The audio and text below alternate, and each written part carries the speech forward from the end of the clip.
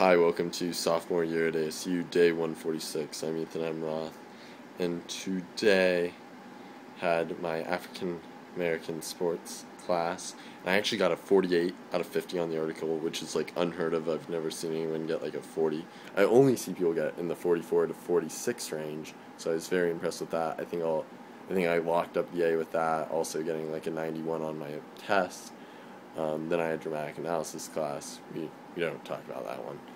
And then um, spent the night with Troy, just chilling. We went to Buffalo Wild Wings. We just, you know, more, you know, talks on life.